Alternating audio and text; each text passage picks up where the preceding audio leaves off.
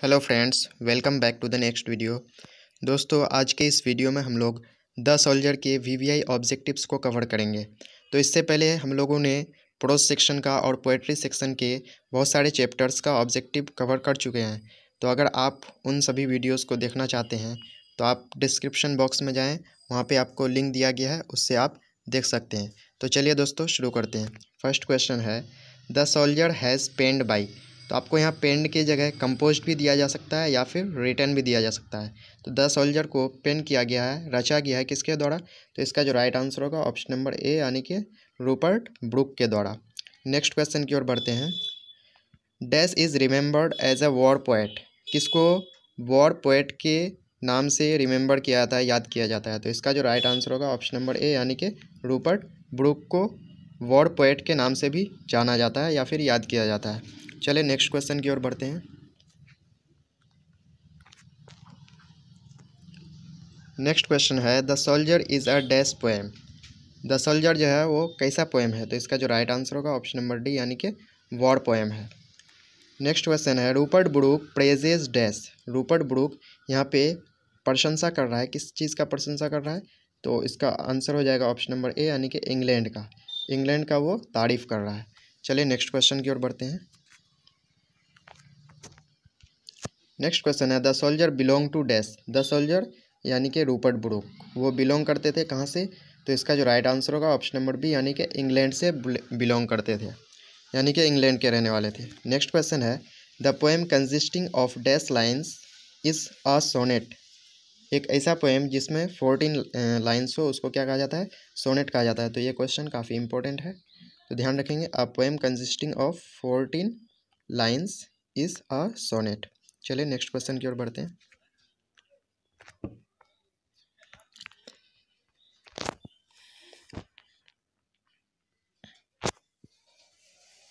Next question है the first dash lines are called octave यानी कि सोनेट में फोर्टीन लाइन्स होते हैं। उसका जो फ़र्स्ट कितने लाइन्स को ऑक्टेव कहा जाता है? तो इसका जो राइट आंसर होगा ऑप्शन नंबर सी यानी कि एट लाइन्स को। फ़र्स्ट एट लाइन्स को ऑक्टेव कहा जाता है और लास्ट सिक्स लाइन्स को सेस्टेट कहा जाता है। तो ध्यान रखेंगे अगला क्वेश्चन है the last dash lines are known as sestet तो लास्ट सिक्स लाइन्स तभी तो एट और सिक्स क्या हो जाएगा? फोर्टीन हो जाएगा तो उसको सोनेट कहेंगे और फ़र्स्ट एट लाइन्स को ऑक्टेव कहेंगे और लास्ट सिक्स लाइन्स को सेस्टेट कहेंगे। चलिए नेक्स्ट क्वेश्चन की ओर बढ़ते हैं।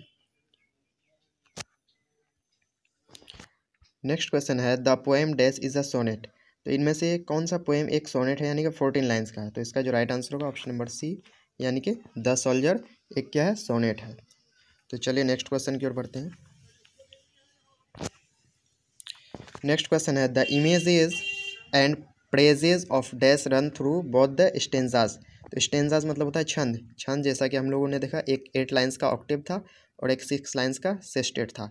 तो दोनों छंद में किसकी छवि और किसकी प्रशंसा की गई है? तो इसका जो राइट आंसर होगा ऑप्शन नंबर बी यानी कि इंग्लैंड की।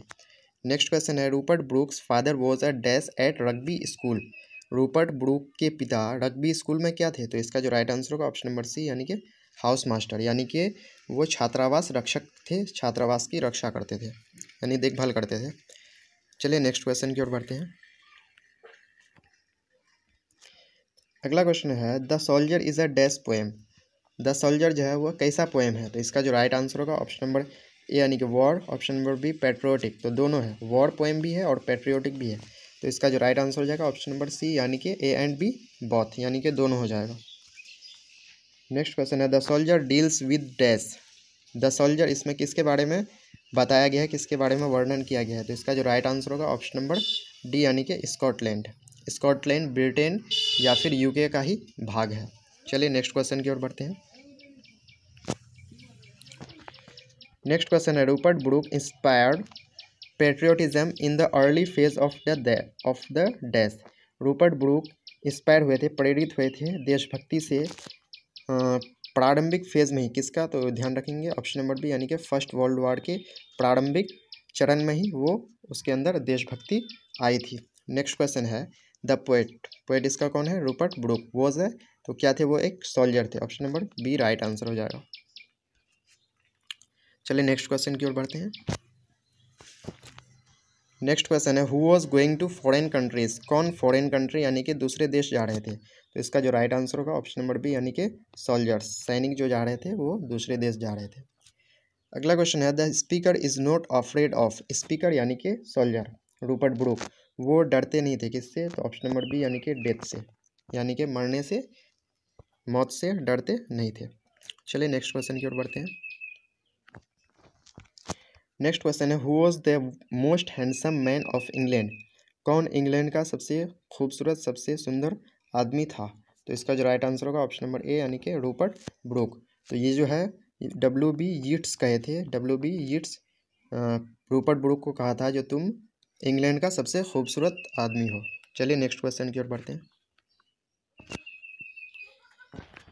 नेक्स्ट क्वेश्चन है the word concealed stands for dash in the soldier the soldier में एक वर्ड है कंसील्ड तो इसका क्या मतलब होता है? तो इसका जो राइट आंसर होगा ऑप्शन नंबर ए यानी कि हिडन यानी कि छुपा हुआ.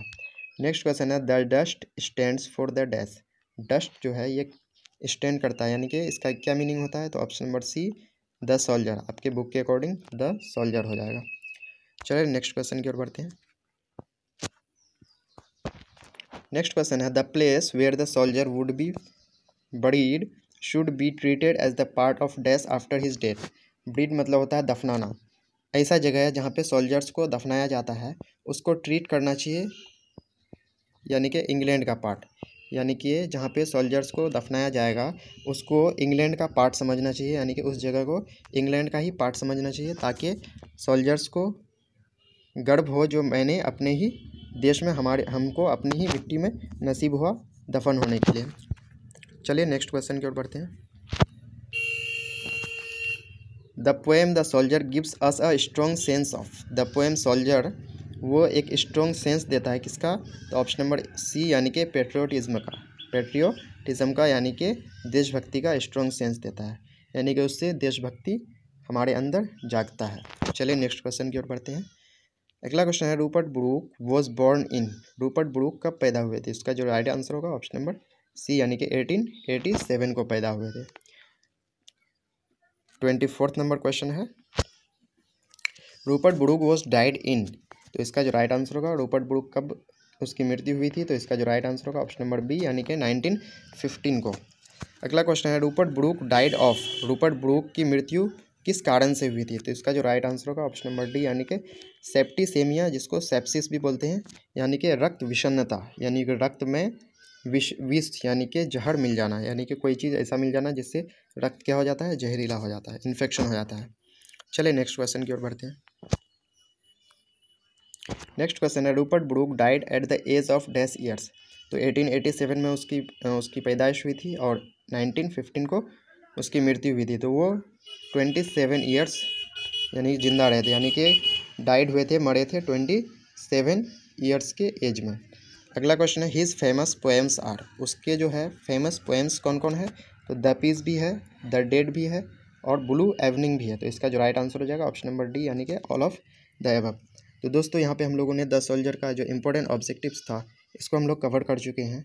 तो दोस्तों, अगर आपको वीडियो अच्छा लगे तो वीडियो को लाइक करें शेयर करें और आप अगर चैनल में नए हैं तो चैनल को सब्सक्राइब कर दें, क्योंकि इसमें आपको ट्वेल्थ की पूरी तैयारी कराई जाएगी। तो चलिए दोस्तों, मिलते हैं नेक्स्ट वीडियो में। तब तक के लिए धन्यवाद।